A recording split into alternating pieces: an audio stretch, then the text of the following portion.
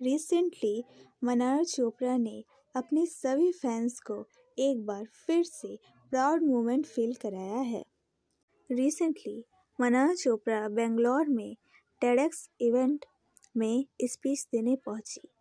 ये इवेंट मनारा की लाइफ का सबसे प्राउड मोमेंट था।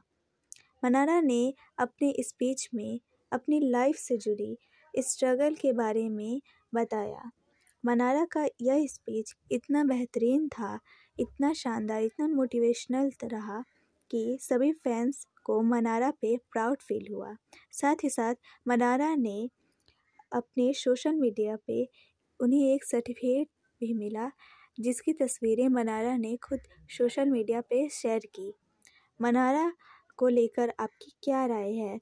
कमेंट में ज़रूर बताएँ।